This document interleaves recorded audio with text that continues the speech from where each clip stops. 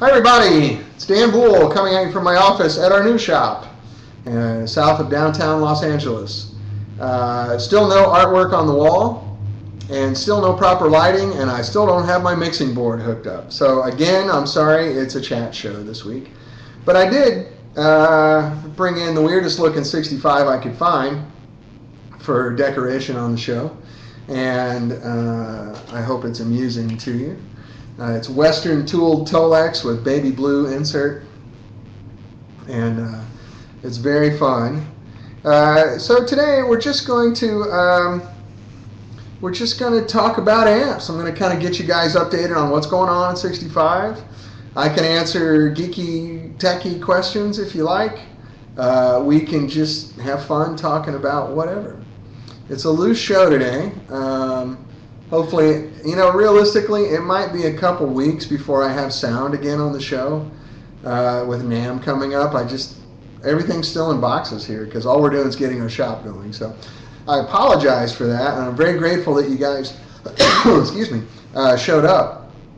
We have a nice crowd here, so uh, this is good. I'm looking at the control panel, and uh, we got a good crowd here. Let me try to rearrange this camera a little better so it's a little easier to look at. That makes it a little little better. So I have to read, for those of you that haven't been on the show before, there's a large chat window going. So most of you watch this on the recording and you don't get to see the chat. But there's a large chat window going here that I'm trying to read, look into the camera, and, um, you know, be coherent. Uh, so, yeah. So Martin Gooseland, hi. Glad you made it from Norway. We've got a lot of countries represented again today. Uh, I know of uh, Germany, uh, Britain, United Kingdom, England, and Norway, of course, the United States. So if I'm missing anybody, oh, Andre Mack, you're in Argentina, aren't you? So we're doing pretty good. Three different continents already. I like that. And uh, I can see there's 28 of you that have logged in and registered. Um, and I look on the dashboard, there's usually a few hundred more people watching at the same time that just lurk. You know, they hit the link from another page. What days and time you and Peter plan on being at NAMM? uh, says RJ Sanders. Uh, well, I'm going to be there all four days. Peter's going to be there Thursday and Friday because he has uh, an engagement with Sheryl Crow on Saturday. Uh, so he's got to take the red eye flight flight out um, Friday night, and uh, so we won't have him for the weekend, unfortunately. But you know, Sheryl pays the bills. You know, he's he's technically Sheryl's employee, so he doesn't have a choice on these things. But um, so anyway. Uh, what's going on at 65? Well, we have just been working our skinny little butts off here to get the new shop going.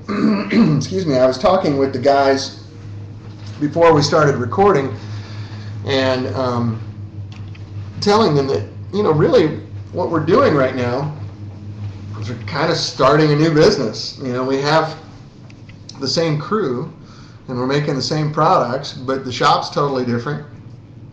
And I have to teach uh, boutique amps distributions organization. You know, they're learning about how we get our parts, um, all these sorts of things. Two guys wrote, "Oops, lost you, Dan. Are you still there? Am I alive?" Check one, two. All okay now. Okay, good. Um, so we're kind of starting over, and it's just like any move, um, it's taken five times as much work as we guessed. You know what it's like when you move. You always go, oh, just put everything in boxes. We'll move it. We'll unpack the boxes. Everything will be fine. Not the case at all. It's been uh, fun, but very tiring and very stressful, as you can tell by the bags under my eyes and the tone of my voice. Um, I'm pooped. I am seriously pooped. but we're getting through it, and they're making amps in there, and they're going out the door, and we're getting up to speed. We're not quite all the way up to speed, but we're getting there. Um, so that's the good news. Um, and it's all looking very positive down the road. We've got to do a lot of, you know, it's just weird integrating into a new company, and they're being great, giving us all the resources we need, and um, but it just there's a learning curve. You know, it's a little bit of a learning curve, and it that learning curve is scary for us and scary for them. So we're all in it together. That's very good. But uh, anyway, so uh, you know we're, we're getting the preliminary stuff together. I will have finalized pricing for you for next year. Um, hopefully by the end of this week, definitely by next week's show. Um, what you're going to see, you know, we had the big price increase in the fall. Um, so all the prices are going down significantly from those. Uh, almost all of them, I think, are going to be a little bit less than they actually were uh, before the price increase. They're going to go down to pricing that was three years ago, four years ago. Um, just because we have so many resources here, it, it saves us money. And we're making the amps exactly the same, just on a larger scale. So the buying power is better. Um, some of the stuff we're making in-house now uh, that we were buying. Um, good point. RJ Sanders says we need to update our website. Yes, we do. And I'm, I'm working with a new web guy to get that done. So, um, um, so I think you're going to be really happy with the pricing and the availability. Yeah, Ventura is going back down to where it was before. I think it's actually a little bit better. Um, so the prices that are on our website, completely irrelevant. Um, I need to get in there. Actually, you know what? I can go and just write that the pr- new pricing is coming um, this afternoon. We just don't know the exact number yet. I haven't got the word. Uh, we're, we're, really close, and we're just letting it digest for a few days. Uh, Mickey Kidd says, "How many guys do you have making amps now?" Uh, well, it right now it's the the crew that we had over in North Hollywood plus one more right now. There's ultimately going to be more. Uh, but right now we don't have all the parts and We're still waiting on some stuff to arrive. And so I got two builders working, two techs working right now. Um, and we have a production manager who's part of Boutique Amps Distribution. Todd Vutions, you guys might end up seeing him on the show once in a while. Uh, hey, Stratocaster Mojo, how are you, man? Yeah? Oh my gosh, I'm sorry. I couldn't be more tired. and the only reason I'm here doing the show is because uh, I like talking to you guys. Uh, the sound booth's going good. I saw the top of it this morning. It went to paint. Um, so the top of it's now black, and they were cutting the big outer vents yesterday out of these huge sheets of aluminum uh, on our CNC machine, uh, which is cool to watch. That CNC machine is amazing. You can just cut anything out of it. They're actually cutting like these giant 65 logos that are about this big that we're going to give to our dealers and sell them if anybody wants them. They look really cool, three dimensional. I mean, it's just like this logo, only it's like, I don't know, two feet, three feet across. It's really nice. Um, it's very fun. Let me get a little more on camera here. All right, focus. Ah. So, yeah. Get where I can get comfortable in this chair. The lighting's so bad with regular lighting. I apologize. Um, let's see. How's the sound booth going? Yeah, yeah. I mean, we're just rolling right along. NAMM's going to be amazing. Um, it's just a whole lot of work. It, for those of you that have never been behind the scenes at NAM, um, it's really. Hey, what's up, VA Casey? Is that Virginia Casey? Um, it's an astonishing amount of work, and you get an amazing lack of sleep.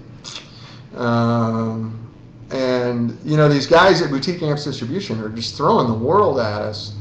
So they've got to do, you know, Boutique Amps Distribution handles um, the Egnater pedal, Egnater amps, and the Bogner pedals, and a few other things. But you know, we're all you know, like the sales guy, Rich Ross, who was our sales guy. He's now the sales guy for for those brands as well, and. Um, um, they're doing three Nambas, and uh, it's just crazy. Are there any new models being released at NAMM this year? Michael Varner five asks.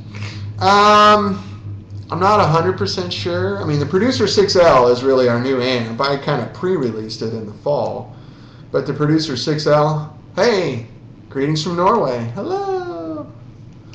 Tusen tak for coming by. Lots of Norwegians. Igend if I'm saying that correctly. Uh, Rock and Roll Willie, hey, finally made it. I'm glad you're here. We're developing a good crowd today. Sorry, guys, for you that are just logging in. Um, it's another just chat show Wednesday because we've been working so hard. I, I don't have my rig set up at all. I intended to at least have one good vocal mic set up today, and I was on the phone until four minutes before the show, and I just couldn't. I couldn't do it. It's impossible. So uh, when my, Michael, we're talking about releasing some new amps in the red line, but it's not finalized yet. So I'm just going to hold off on saying that. I, will definitely uh, next week we'll have an answer for you on that. Um, so it should be good. What amps would you guys like to see in the red line? You know, if I could make a more affordable version of what we do, what would be your choice?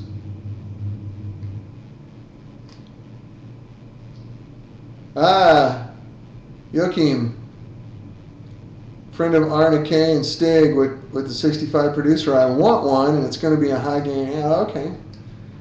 The producer gets a lot of dirt, man. Ken Christian says, getting my first 65. Love the show. Oh, cool. Welcome, Ken. Nice to see you. Uh, Rob Ballas says a Soho. That's kind of what we're thinking too. Um, Barchetta about how about microamps? Ah, not not yet. Uh, Empire. Yeah. Pink Paisley says, did you say boutique amps distribution are also doing egg amps? Yeah, they import them. They don't make them. Uh, they just have, uh, we have the same sales guy. Yeah, that's about it. Redline Empire, please. Empire Soho would be cool. Okay. Pink Paisley says they're not boutique amps, are they? Well, I'll let you talk that over with the guys that own the company. All I ever see of Egnater here is boxes going out, so I don't know how that works, and I, I haven't even asked because um, it's just completely separate from what we're doing. Uh, Egan says yeah, I may need an extra pedal for the good old trashy sound. I'm seriously thinking of one after hearing it live. Well, I'm sorry, I, Joachim. I'm. Uh, you talk. Which pedal are you talking about? Are you talking about one of our amps? Did you go see someone play in Norway, like the Hellbillies or somebody? Oh, the producer. Producer gets really dirty, man. Unless you want to go, it doesn't really do metal, um, but just for straight ahead gain, it's dirty. It does really well. It does really well. Oh, I apologize. Guys, we've been working our butts off. And I am so tired and so worn out. It's crazy. And so is everybody in the shop. We're all trying hard. We're doing really, really, really good. It's just exhausting. So I'll have all that. Um, your Woodsmith builder has some talent. Thank you.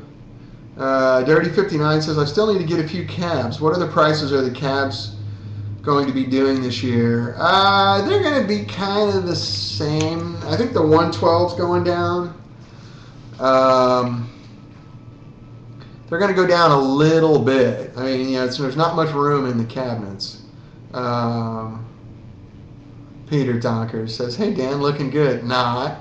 Thank you, Peter. It's always a pleasure. Yes, I'm very tired, and it shows, doesn't it? Uh, King Darko says, "Hey Dan, hey King Darko, what's up, dude?" Uh, we are going to be building the cabinets here in the shop. Uh, it's not a huge savings, believe it or not, because we're we bought a two hundred and fifty thousand dollar CNC machine. So there are there is some expense there. Uh, what that's really going to allow us to do is build them right away. Uh, well, my biggest production slowdowns, uh, my biggest production slowdowns have always been cabinets. Sometimes cabinets take three weeks. We're sitting around with our finger in our nose, trying to figure out what to do. Um, no, this amp is blue, King Darko. Baby blue here, and this is like Western black tooled Tolex. Um, and we're not building the cabinets here yet. We're just working on that. So probably for a couple of months, we're going to still be buying cabinets from vendors. Um, Stratocaster Mojo says, are you going to CNC your vents then? Not on this machine. Where we have them made, they're CNC'd. Uh, Les Fenderson 888 says, any shop picks? That wire cutter stripper sounds cool. Yeah, we got that all set up yesterday. That was really cool. And literally, the amount of wire that that thing can strip is astonishing. Literally, what would take our builders an hour to pre-cut and strip, that machine did in like three minutes. I mean, it just goes, and it, the wire comes out pre-cut with uh, a lead stripped on it already.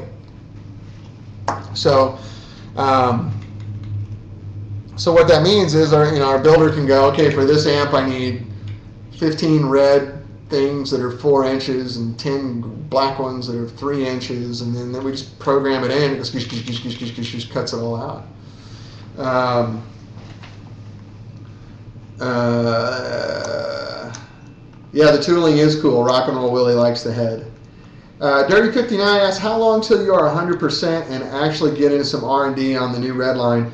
Well, we're doing some R&D on the new red line. I mean, right now they're just exactly the same. They're just hand-wired stuff, only with uh, machine-wound transformers uh, instead of the hand-wound. That's the big price difference.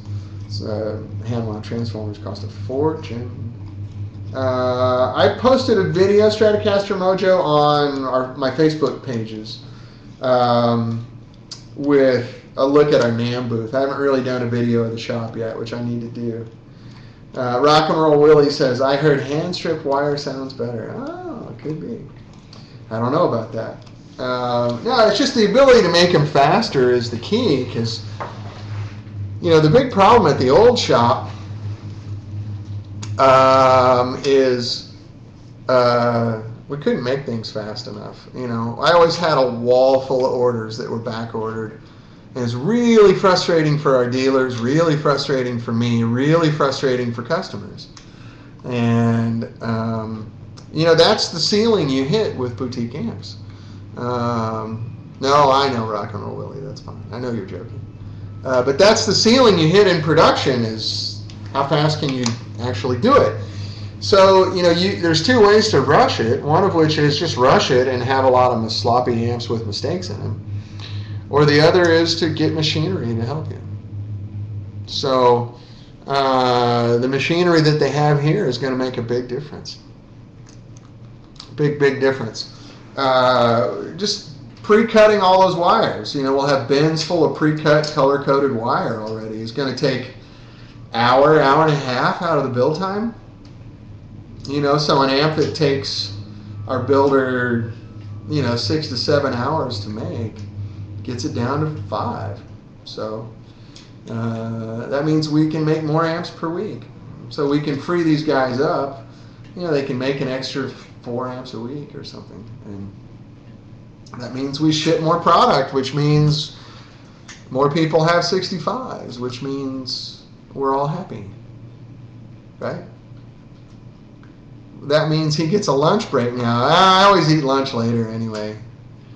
I always end up eating lunch at 2 or something. Yesterday I ate lunch at 4 o'clock. It's crazy. But yeah, like I mentioned earlier, I'm going to have to cut this show kind of short because I got to drive back up to the valley and meet an artist. Stratocaster Mojo says, pretty excited for all the things ahead with 65 in this movie, you guys. Thank you. We're excited too. you never know it from the look on my face. But um, it's, uh, it's really cool, and the potential is amazing. Uh, it's going to allow us to just do a bunch of things with our brand. Um, you know, it's different. Peter Donker says, I always wondered what makes hand wired sound better. I can hear the difference in, with my pickups, but how about trafos? I'm not sure what trafos means. Um, well, there's a few elements to hand wire. You know, I don't know. I'm not going to be so bold as to say they sound better. I like them better. Um, but at the same time, I've heard some printed circuit board amps that sound fantastic. Um, I think if you do a printed circuit board correctly, don't do it on the cheap, you can come up with really good sound stuff. The oh transformers, um, yeah, it makes a big difference. um, you can still use good transformers on PCBs. It's just you got to pay for it. You know, uh, it's there's sort of a floor you hit. You, it's hard to make a really good amp under a certain price unless you just send it over to China. And even then, you know, the Chinese transformers aren't as good. And a lot of the Chinese board components just sound different than what we're all used to in the Western world. Um, so, yeah, it, it, but the biggest difference is, you know, we're using big, thick wire uh, for the signal, and not all the parts are on the same exact plane. You know, when you do a printed circuit board, everything's on the exact same plane. And that can cause interaction that's different. With a hand wired amp, you can go through the amp and move the wires around, adjust the parts, and you get it where it's perfect. So the the onus when you're doing a printed circuit board is to get it right the first time, because if you, you don't have it right, they are all made exactly the same. By the same token, if you get it right the first time, then they're all exactly right. So um, you know, we're going to be doing some PCB stuff down the road. We're probably going to do a third series of amps down the road, but that's just in the future. And we will do it as you would expect 65 to do it. Um, kind of over the top, good, uh, and safe and reliable, and blah, blah, blah, blah, blah. Um, Blaine B says, Are 65s considered point to point? Yeah, I think so. I mean, there's a, that's a, there's kind of loose definitions for point to point. Um, technically, point to point means all the parts are connected to each other. There's no wire in between. And no amps, um, uh, no amps are built like that. You know, the last ones that were made like that, I think Gibson's in the 50s. But um, if you have any kind of board whatsoever, like we're kind of converting everything over to an eyelet board.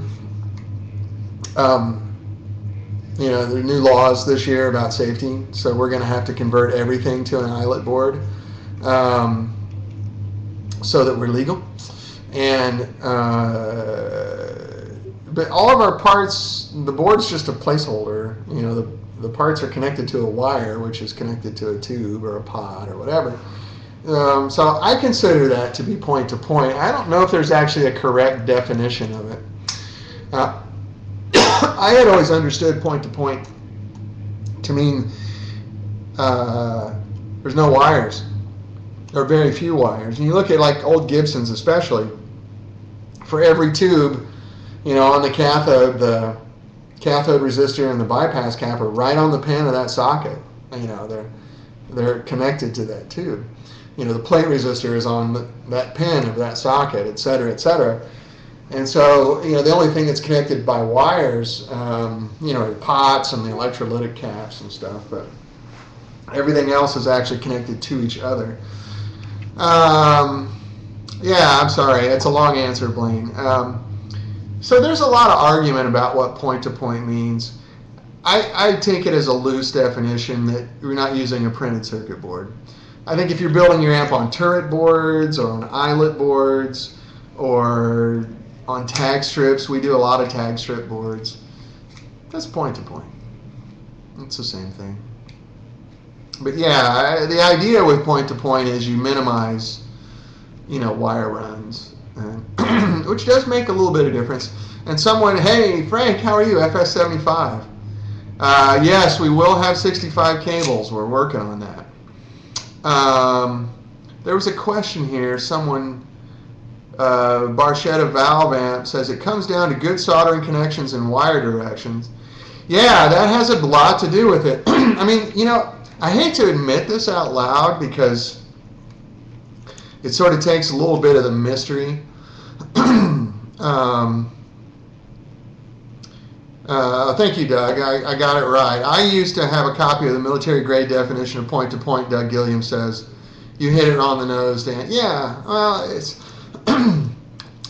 I think just anything that's not on a PCB is, if it's done well, it's point to point. But um, Barchetta valve amp talked about good soldering connections and wire direction. That is a huge part of it because, you know, a circuit is a circuit even though our circuits are sort of unusual, I didn't invent anything. I'm just using a different recipe than most people do. Uh, you know, every tube has a cathode resistor and a plate resistor and power tubes, you know, grid resistor, and you have a pot that attenuates the signal into the control grid on the first tube, and you know, they all do the similar thing.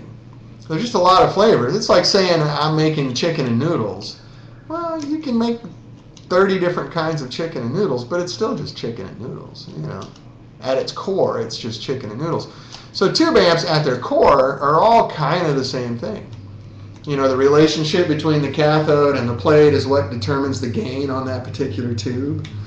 Uh, the coupling caps that you use to couple all those parts together determine how much frequency is allowed through each component you can emphasize certain frequencies or take away certain frequencies based on the size of components that you use. that's all common through all tube amps. Uh, that's, you know, and you know, there's the same kind of five amps that everyone starts with. You know, you, you do a Fender Deluxe, you do a Plexi, you do an AC30, uh, you know, do a twin reverb, you know, 100 watt Marshall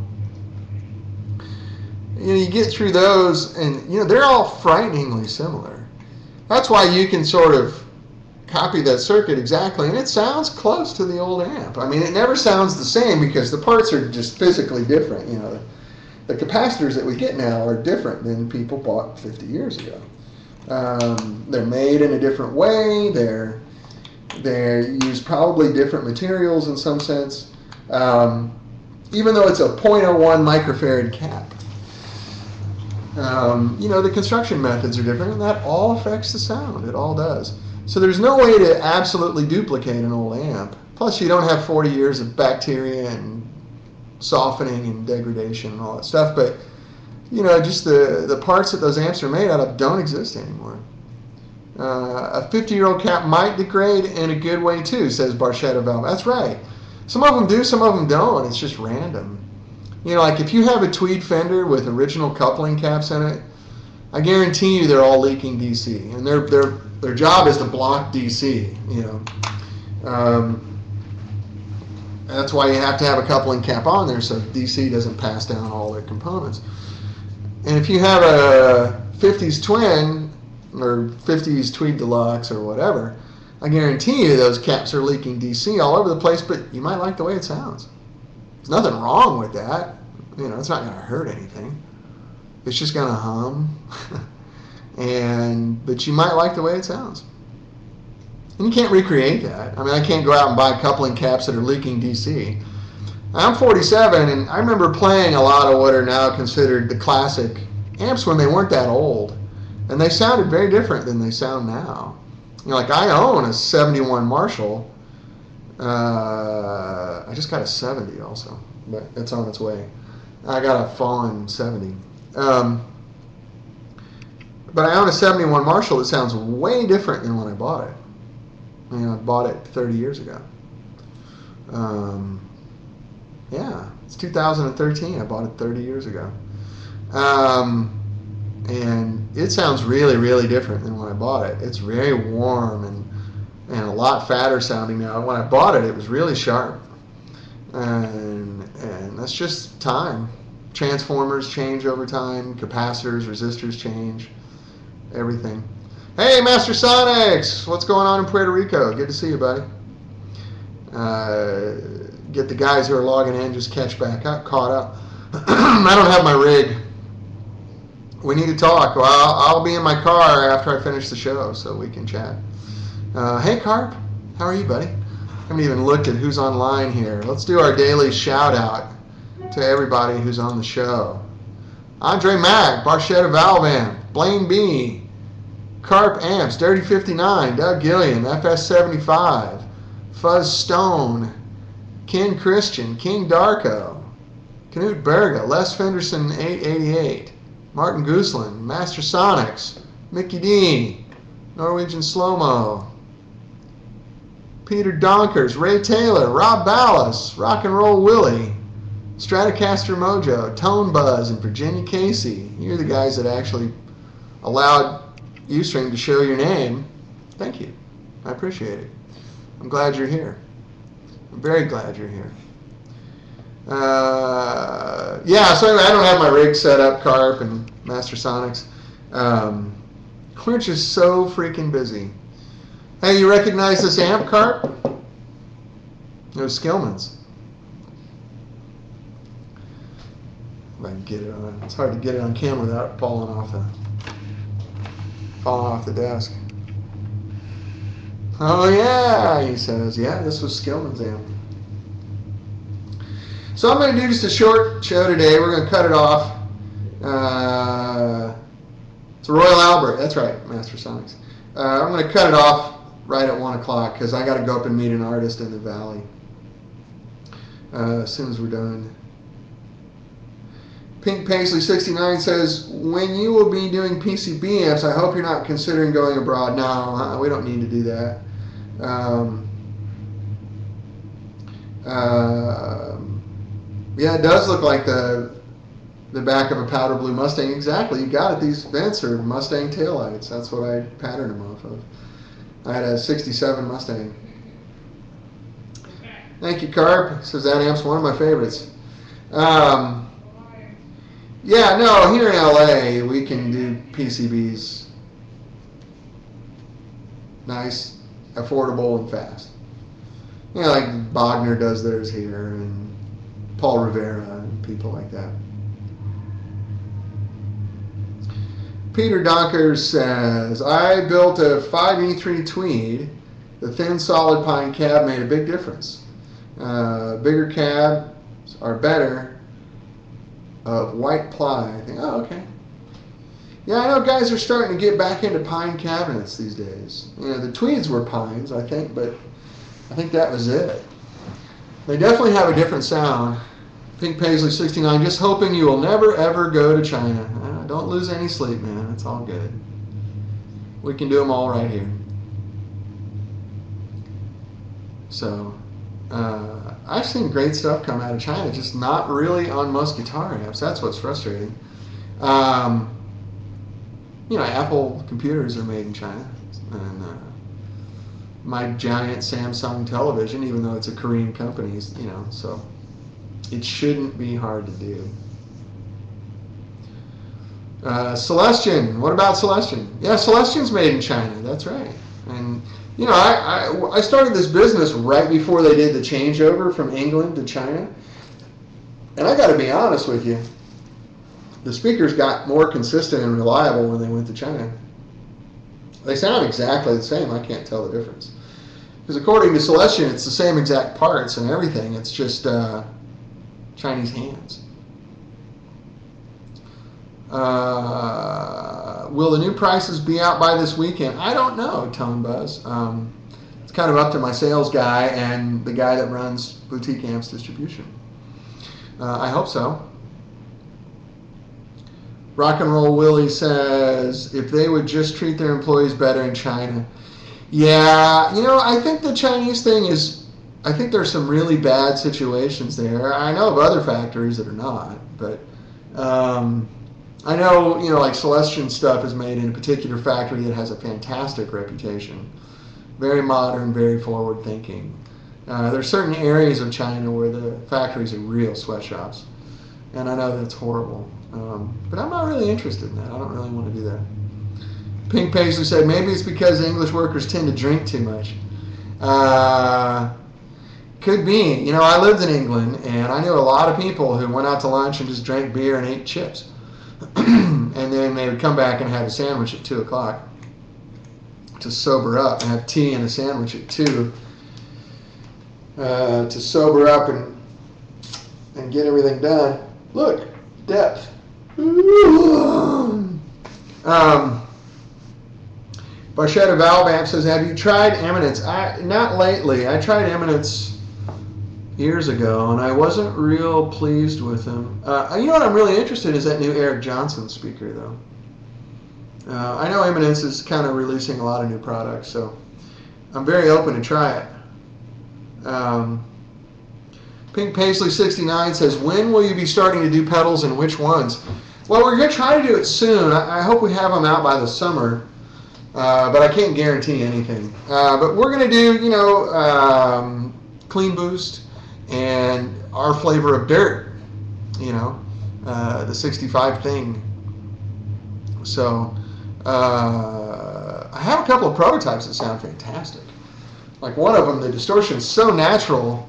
Like I played it through a Tupelo and on the clean side. So I, you know, I vacillate between being on the Tupelo clean side and then hitting the bump on the Tupelo and then going back to the clean side on the Tupelo instead of hitting the bump trying this new pedal. And man, it sounded exactly the same. It was really cool, but what you could do is push it a lot harder than you can do the bump. So it was really cool. It sounded so good, I almost thought about integrating it into the amp. And it was it's very, very natural. What kind of dirt pedals? Uh, you know, most likely germanium, uh, probably just some regular distortion overdrive kind of things.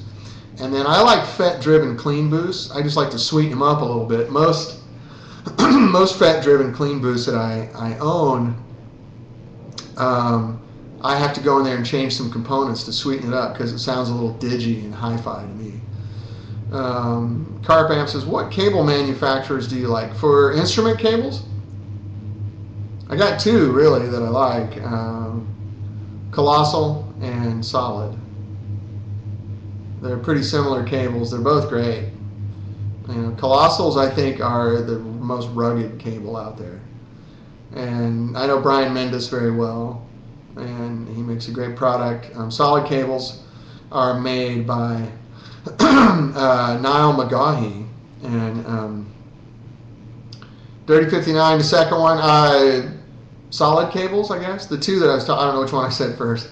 Um, so there's colossal cables, which I think is colossalcable.com, and solid cables, I think is also solidcables.com. Um, I know both those guys really well, and they make really good stuff. Both of them are a great way to spend your money. Uh, to me, their cables are extremely transparent and they're extremely tough, which is important to me. Uh, Guitar Dom says, I love my 65 color boost. Thank you. Appreciate that. I would love to buy more pedals from you. Okay. We'll, uh, we'll make that happen for you. Yeah, I just kind of want to get some different flavors of dirt. You know, because not most of our amps aren't real high gain, so it's nice to have a little extra push on top. And we just want it to sound natural and be usable with our stuff. Should be very, oh, excuse me, very cool. Very, very cool. So anyway, um, we're got, we got about 15 minutes left here. What do you guys want to talk about? What's on your mind? It's a nice big crowd. It keeps growing.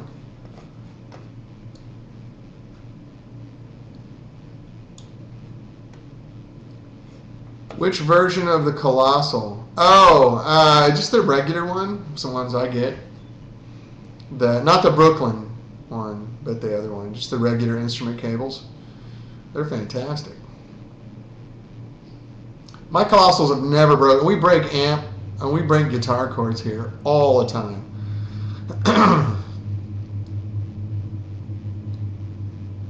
Pink Paisley 69, good question. Till I can buy something to push my amp a little harder from 65 amps, could you recommend something to me, please? Um, uh, well, you know, it's personal taste. It kind of depends on what you want.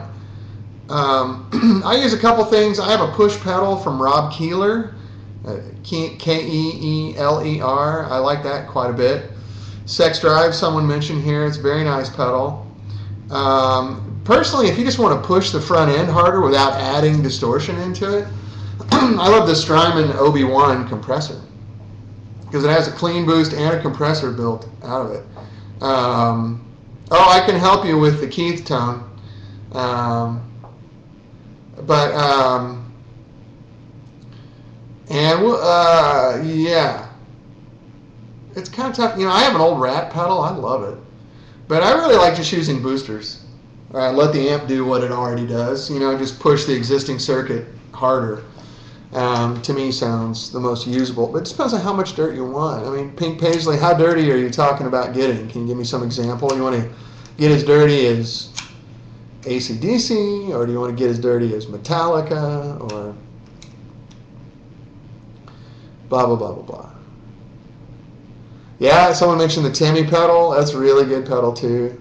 Is it Paul Cochrane that makes that? That's really nice.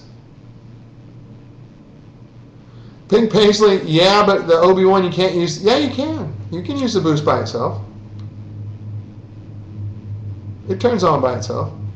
you don't have to have the compressor on to use the booster.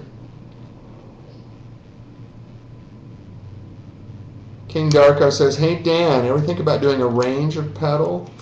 What do you mean by that? What uh, a variety? Yeah, I've got a lot of ideas for pedals. I just don't have any time, you know, right now. Ken Christian, about my first 65, could I coax a Keith tone out of a Royal Albert? Need a tweed tone with nuts. You can. Uh, that's not the best choice. It's a good choice. It'll work. Um, but it's. Uh, the one that's going to lend itself to Keith the most is probably Tupelo and the Producer 6L.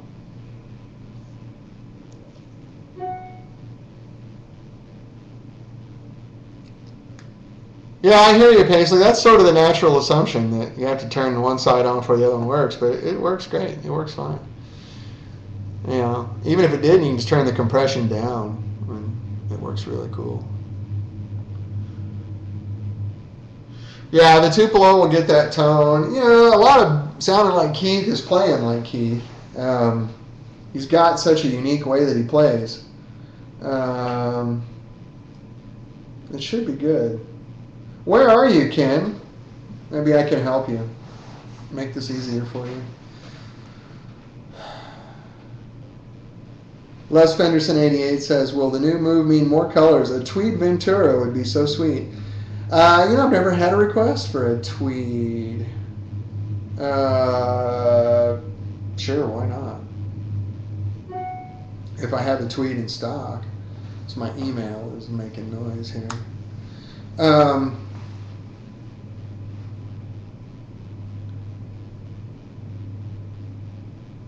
Ah, Frank. Yeah, well, I won't be using this mic.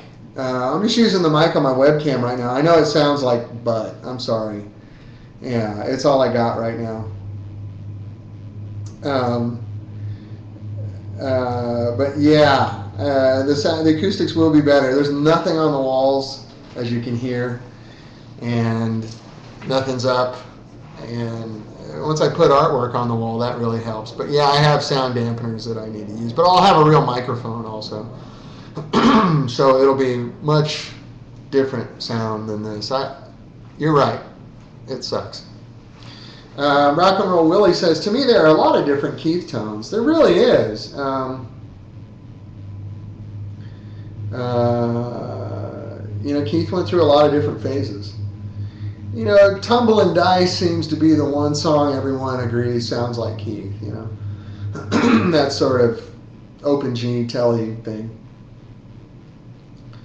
Uh, I'm in the unauthorized Rolling Stones in San Francisco. Oh, right on. So you're here in California.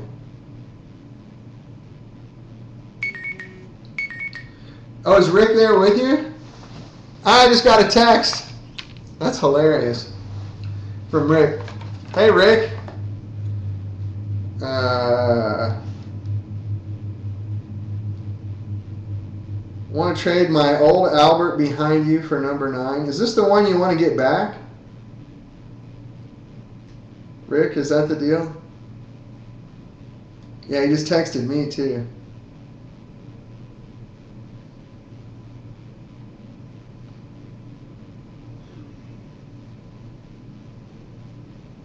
But isn't this the one that you sold to your buddy?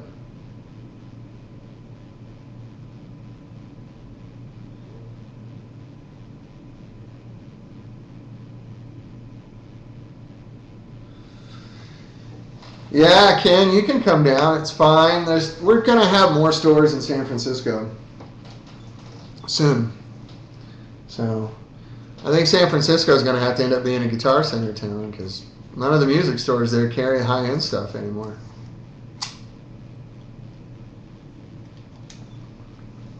Rick, are you watching the show right now? Or are you just texting me?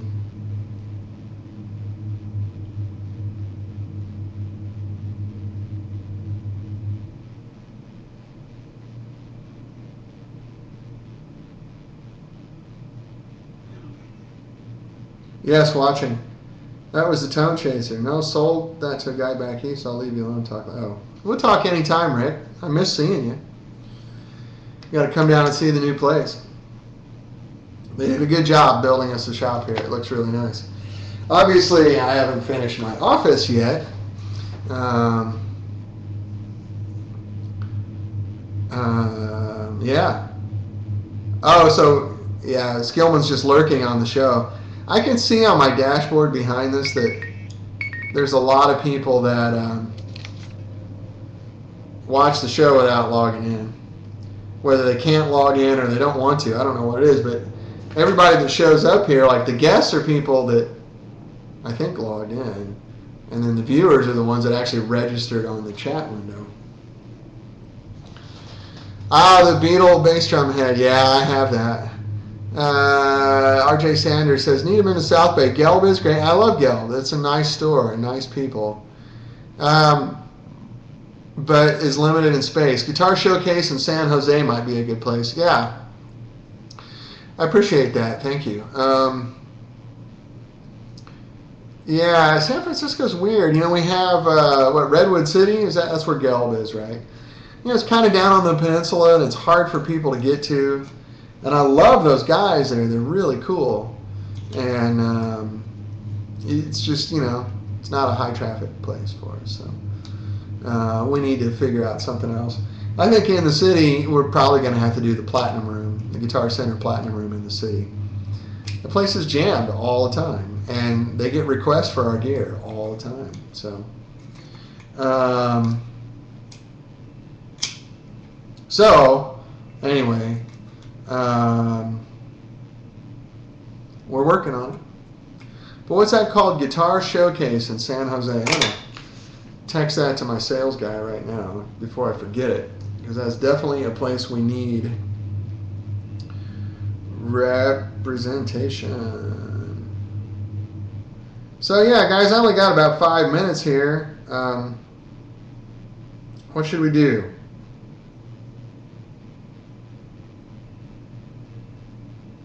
What's it called again? Guitar Showcase.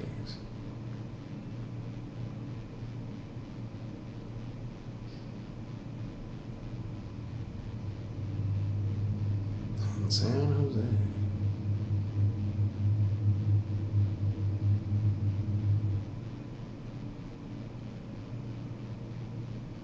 Damn